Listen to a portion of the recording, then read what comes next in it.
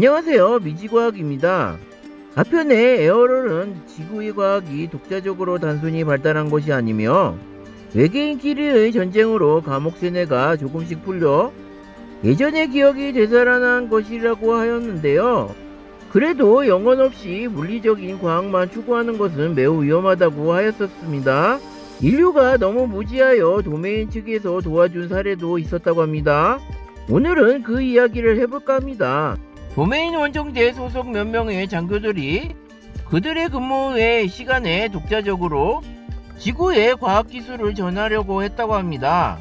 이들 장교들은 우주통제부에 그들의 인형 몸을 두고 이집 위로 지구에 와서 생물학적 몸을 마음대로 자기 것으로 만들어 입거나 인계받아 입었다고 합니다. 와우, 뭐 외계인은 마음대로 남의 몸에 빙의처럼 들어가서 조종도 하나봐요. 신기하네요. 한 장교는 동시에 다른 몸에 살고 두 몸을 통제하면서 우주에서 임무를 계속하기도 했었다고 합니다. 이런 일은 아주 위험하고 대담한 일이라고 합니다. 임무를 완수하고 성공적으로 기지로 귀환할 수 있다면 그는 아주 유능한 IS-BE라고 에어롤은 이야기하였습니다. 와우, 아주 유능한 외계인은 자기 영혼을 쪼개서 동시에 두 몸을 사용할 수도 있나봐요. 쉿, 이거 사실 엄청 중요한 내용입니다. 부속편까지 정리하여 나중에 말씀해 드리겠습니다. 최근에 자신의 공식적인 임무를 계속하면서 이 일을 해낸 장교는 지구에서 니콜라 테슬라라는 이름으로 알려져 있는 전기 발명가라고 에어롤은 이야기하였습니다. 니콜라 테슬라가 누구냐면 1856년 7월 10일에서 1943년 1월 7일은 세르비아계 미국인 발명가 물리학자, 기계공학자, 전기공학자입니다. 상업 전기에 중요한 기여를 했으며 19세기 말과 20세기 초 전자기업의 혁명적인 발전을 가능케 한 인물로 잘 알려져 있습니다. 테슬라의 특허와 이론적 연구는 전기 배전의 다상 시스템과 교류 모터를 포함한 현대적 교류 시스템의 기초를 형성하였습니다. 그의 이러한 연구는 2차 산업혁명을 선도하는 역할을 하였다고 합니다. 니콜라 테슬라는 에디슨하고도 교류 가지고 엄청 다퉜다고 합니다. 에디슨은 직류만 고집하였지만 현대과학에서는 테슬라가 주장한 교류만 쓰고 있습니다. 왜 그런데 에디슨을 더 많이 알아주었죠?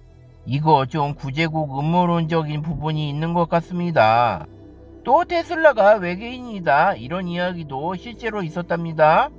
유튜브로 유명한 신박과학님도 외계인설 이야기가 있었는데 테슬라는 인류 최초의 UFO를 만들어냈다고 합니다.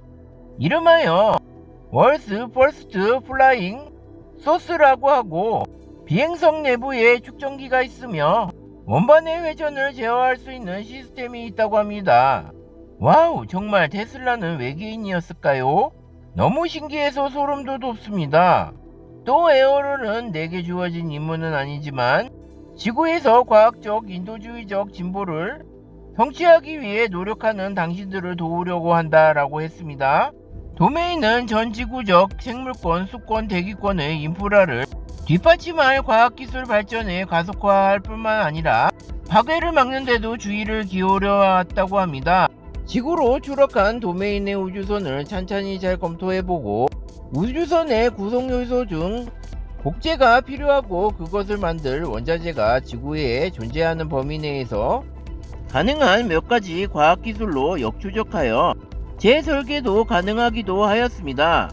하지만 몇 가지 특징적인 것은 지구에는 없는 것이기 때문에 불가능하다고 합니다. 이주비와 연결된 우주선 신경회로망 작동항법 시스템도 만들기 어렵고 아주 높은 수준의 에너지, 훈련, 지성 등이 있어야 된다고 하였습니다. 첫 번째 우주선의 특별 시스템 우주선 벽체에는 통신, 정보 저장, 컴퓨터 기능, 자동 항법 장치 등을 통제 관리하는 데 필요한 현미경으로만 봐야 보일 정도의 아주 미세한 섬유 조직의 배선 장치가 내장되어 있다고 합니다. 두 번째 우주선의 특별 시스템 첫 번째의 배선 장치로 light, sub-light, ultra light 스펙트럼을 탐지하고 시야를 확보 가능 세 번째, 우주선의 특별 시스템. 우주선 내부 인테리어에 사용된 섬유는 현재 지구상의 그 어떤 섬유보다도 탁월하며 수백 혹은 수천 가지 특정 용도를 가지고 있다고 합니다. 네 번째, 우주선의 특별 시스템. 또한 에너지 형체로서의 빛의 입자나 파동을 만들고 증폭시키고 가속된 입자나 이온이 원자로 등에서 매질을 투과할 때 결정 격자 사이를 통과하는 능력인 channeling하는 장치도 발견 가능하다고 합니다.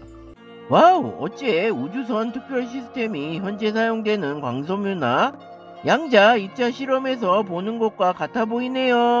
아무튼 오늘도 정말 놀랍네요. 다음에는 에어롤이 이야기하는 미래에 대해서 설명해 드리겠습니다. 끝까지 시청해 주셔서 감사합니다. 좋아요와 구독을 꼭 눌러주세요.